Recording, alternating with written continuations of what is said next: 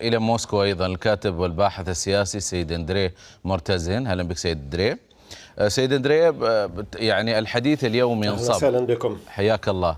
آه، الحديث ينصب اليوم أن الجانب الأوكراني وراءه الجانب الغربي يريد إثارة ما يسمى بالابتزاز النووي كما تحدثت السيده ماريا زخاروفا وأن هذه المخاوف حقيقية آه، رأينا أيضا رسائل من الجانب الروسي للولايات المتحدة حول هذا الأمر لكن لم يتم تصديق كل هذه المسائل ما الذي سيأتي بعد هذه الخطوة على مستوى الجانب الروسي؟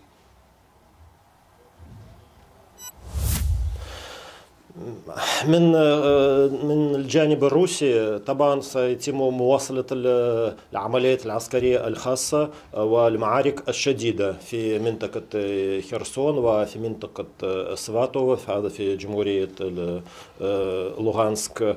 وطبعا أنا لا أرى أي الأسباب تخفيف حدة التوتر طبعا التحذيرات الروسية بشأن القنبلة القذرة هذا طبعا هذا ليس الكلام الفارغ. بالفعل كانت لإدارة الرئيس زيلينسكي استخدام هذه القنبلة تحت رعاية الولايات المتحدة طبعا.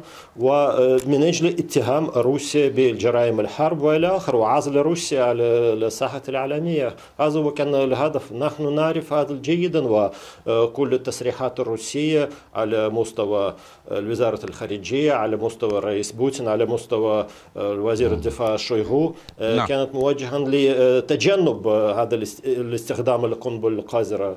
طبعا هذا الشيء منطقي. طيب دعني أتطرق إلى مسألة الأقمار الاصطناعية الأمريكية التي قيل أنها أقمار اصطناعية تجارية.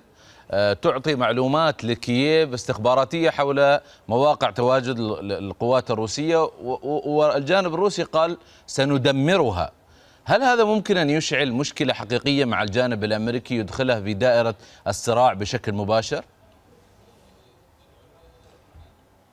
بلا شك.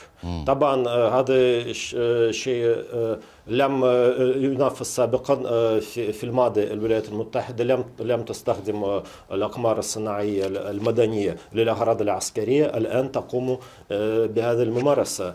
طبعا هذا هو شيء غير مقبول وأنا لا أستبعد أنا لا أستبعد احتمال إسقاط واستهداف هذه الأقمار الصناعية. بالفعل إذا كانت هذه الأقمار الصناعية هي وسائل الحرب أو أداة الحرب ضد روسيا طبعا يمكن استهدافها.